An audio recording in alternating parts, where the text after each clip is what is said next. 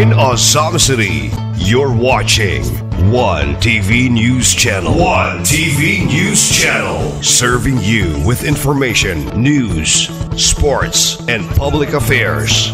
One TV News Channel. One TV News Channel. Serving you with love. Ang telebisyong pangmasa. One TV News Channel. One TV News Channel.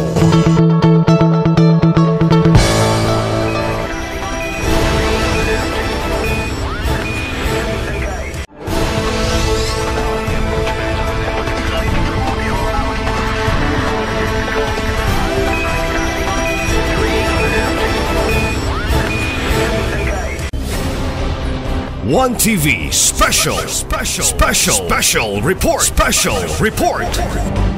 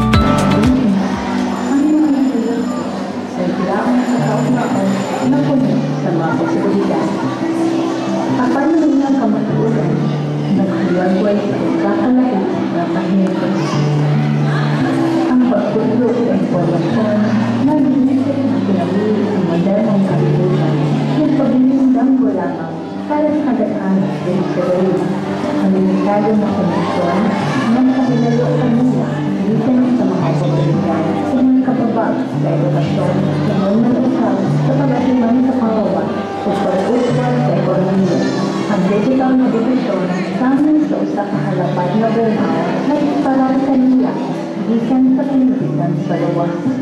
Apan, ang paglao Tangos na dilaan sa kalayo, nagdagili nga mapalo. Kayo ang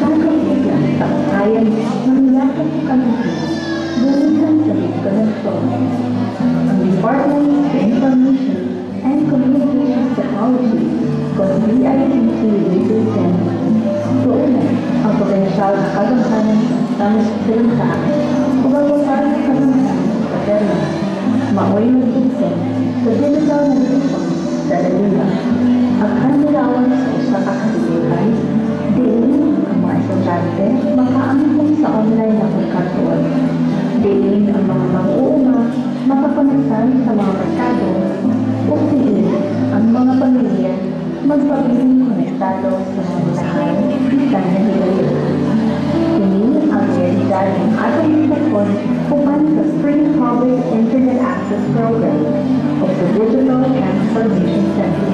Ang libreng internet access sa mga piling dati Mabayan sa pagbansay-bansay, discount na anak sa DDC, ngayon sa sangkapan o iman sa mga residensya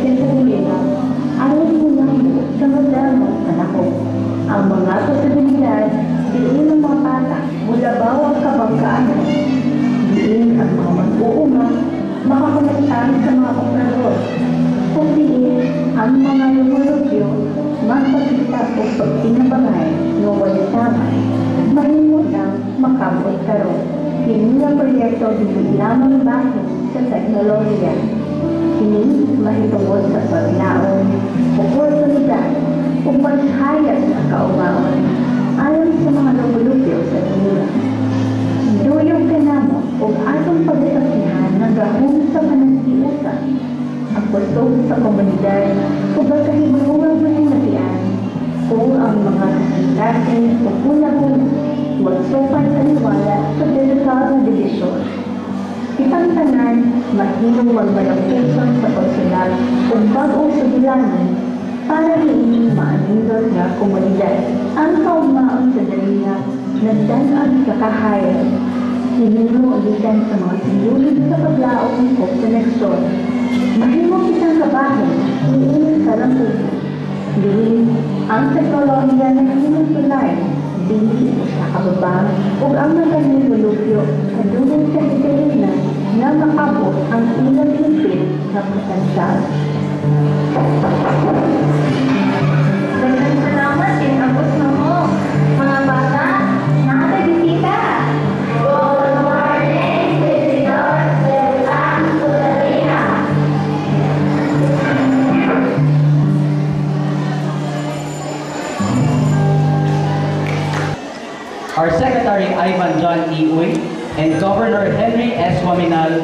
represented by Vice Governor Ruena L. Gutierrez.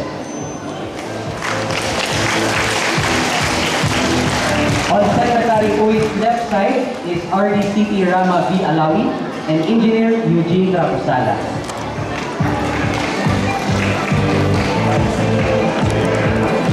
And on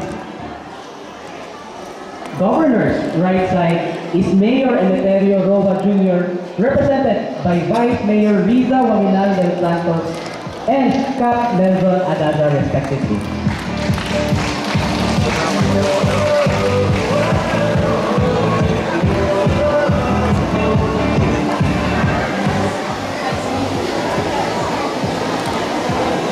Ma'am and sir, you may, now, you may now cut the ribbon to signify the official launch of the Dalingap Digital Transformation Initiative.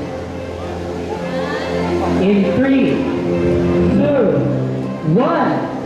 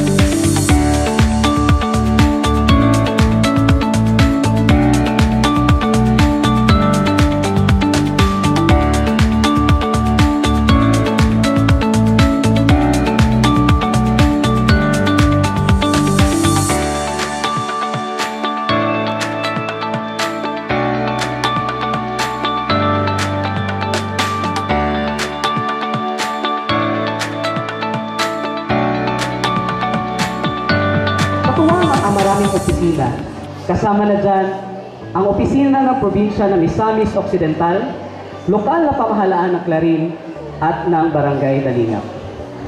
O dili na nato dugayon, akong giimbitahan at tanan sa pagtindog para sa isa kagamay nga pag-ampo nga pagasugdan sa atong pagkanta sa national anthem nga ihatod ka nato sa mga estudyante o teachers sa Dalingap Elementary School. Tonight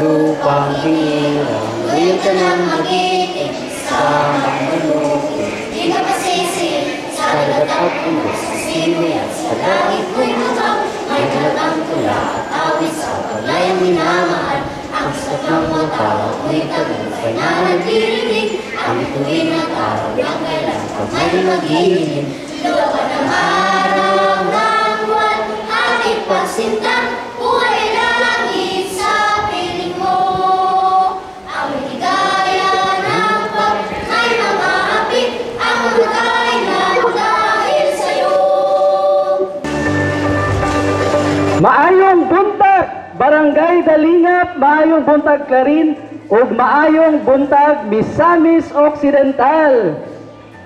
Maayong buntag. Ayan, sumapasalamaton mi sa inyong presensya karong buntaga no para makadala sa mga programa ni DICT. So kaniya to ang pagahigayon karon isa ka selebrasyon kay dili tanan mapilian o dili tanan maabot no? And we're glad to say that we are here. DICT is here with you guys.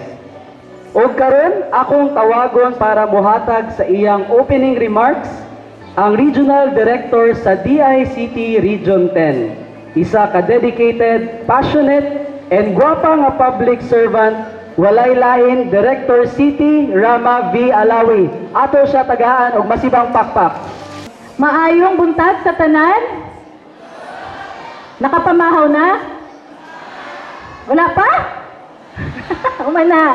Okay. So, um, pasaylo ako kay lisod ko sulti Bisaya. It's not my first uh, language.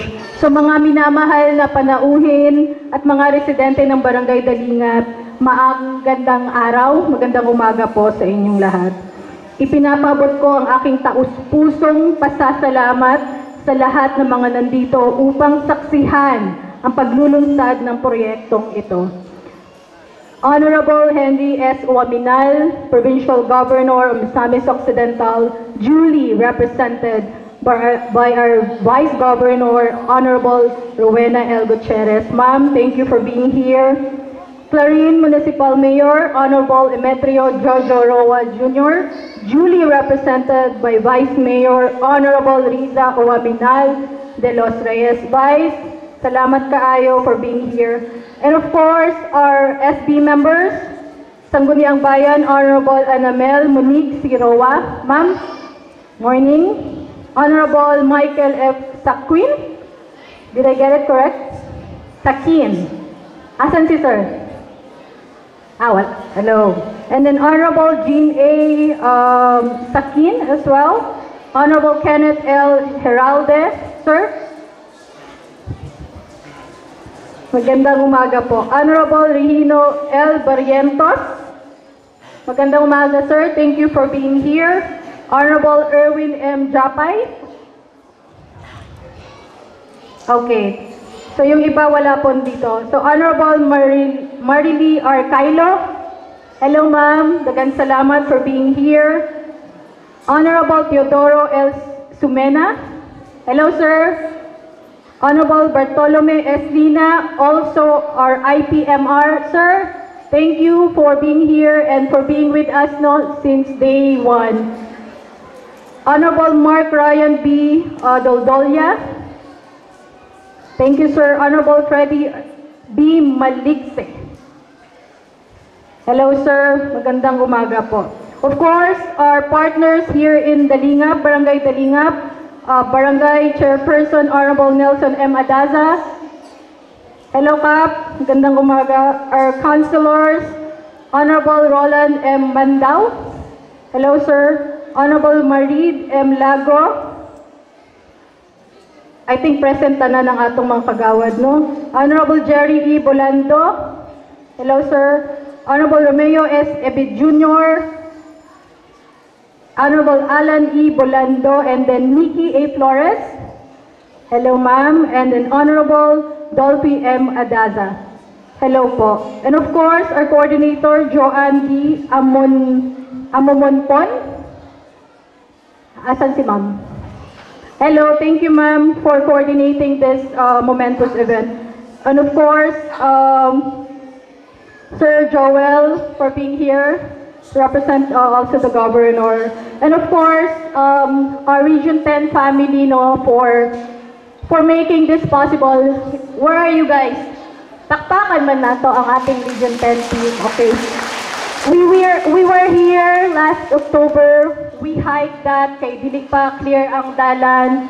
So I think it took us two hours no to hike to assess the area. And then uh, our team also went to Kaluton, Sitio Kaluton, to put up the the Starlink there. Uh, that they, it took them three hours. Kay ing na daw ang ano ang local 30 minutes lang daw. so lesson learned, never ask a local. Kay 30 minutes but it took them 3 hours but it's so worth it naman for all the services that we have provided for this uh, barangay. So um, today no marks a momentous occasion for our barangay Dalingap, your barangay Dalingap, for Clarin, for Misamis Occidental, and for the entire Region 10. We stand here not just to launch a project, but to ignite a digital revolution that will empower lives and unlock a brighter future for this community. For too long, the challenges brought by geography and limited access to ICT have hindered the Lingap's potential. But today, those challenges are met with opportunities. Through the ICT's Region 10 Digital Transformation Initiative in this barangay, we bring the power of ICT directly to your footsteps. Simula ngayon, maaari na pong ma-access ng mga kabataan ang malawak at makabagong kaalaman na magagamit nila sa pag-aaral, Magbibigay na rin po ang ating mga residente ng pagkakataong lumahok sa lokal at pandaigdigang merkado at magiging abot kamay na rin natin ang mga serbisyo ng gobyerno sa isang click lamang. Ito po ang pangarap na sama-sama nating itatayo dito sa Dalingap. Maraming salamat po. This initiative was made possible sa pagtutulungan ng pagitan ng DICT, ng lokal na pamahalaan, at ang komunidad mismo. Kayo mismo ang tumulong sa amin to make this possible. Kami ay naninindigan at nagkakaisa sa paniniwala na ang ICT or Information Communication Technology ay maaaring maging isang puwersa para sa kabutihan na tumutulay sa agwat sa pagitan ng magkakaibang mga komunidad at tinitiyak ang inklusibong pag-unlad or this is what we call inclusivity. As we launch this initiative, I urge each and every one of you to embrace this opportunity. Take full advantage of the three internet access and the training programs offered and we will offer. Remember, the future is digital and it is yours to shape. Maraming salamat po at mabuhay po kayong lahat. God bless everyone. Hinaot ta RD kani atong programa makadala og dugang kalambuan no especially sa pagpanginabuhi diri sa Barangay Dalingap o diri sa Clarin sa Misamis Occidental. O karon oras na para atong madunggan ang mensahe sa isa sa pinaka-importanteng bisita karong buntaga. Siya lang naman ang ama ng DICT at isa ring anak ng Misamis Occidental. None other than the Secretary of the Department of Information and Communications Technology, Attorney Ivan John Ioy. A round of applause, please.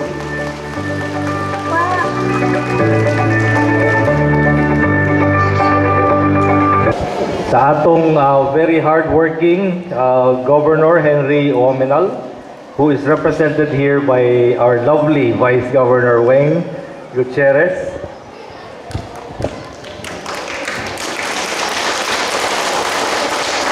And of course, our uh, mayor of um, Clarin, um, the action man, Mayor Jojo Roa Jr., represented here also by her, by his uh, very able Vice Mayor uh, Riza Oaminal de los Reyes, also known as Gingging, Vice Mayor Gingging. Of course, our also our host, um, Ozami City Mayor Indy Oaminal, uh, who met us at the airport. To our barangay uh, captain, barangay chairman Nelson Adaza o Barangay Dalingap. Salamat sa inyong mga pagbati sa amo.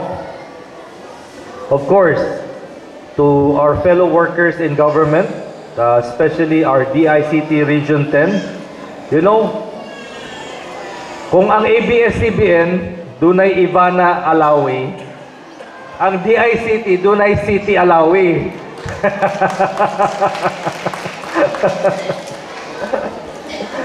so, unsa na sila? Manghod. maging suon ba? Maging suon. Bayong buntag, barangay Daligap. Nakapamahaw na ba mo? Murag katulgod pa man. Bayong buntag. Nakana ba? oh, sa Oh, nakadungog di ay nakad, nakadungog ang atong mga amigo sa Kaluton Elementary School. Hi, sir. Hello. Ay, buntag. Kita mo amo? Kit kita ba mo? Kita, sir. Good morning. Klaro no, klaro. Hello, good morning. Kamu klaro mampot mo ko dire. So karong buntag, ga-celebrate ta no? Celebrate ta sa atong pagbutang og free wifi site og digital transformation center dire sa Barangay Dalingap. Katong pag pag-assume namo og among um, official duties katong June 30, 2022 ang unang sugo ni President Ferdinand Bongbong Marcos Jr.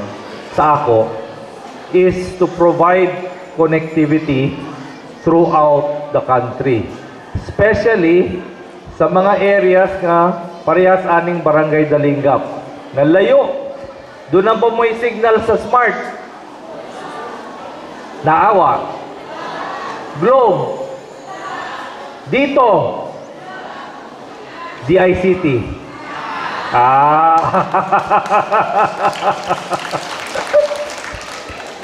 Maog yun lang yung sugo. Tagaan og signal ang mga layog lugar para makakonekta ang mga estudyante, makakonekta ang mga maestro, makakonekta ang mga health workers para makapag-access sa mga telemedicine, no? Telemedicine.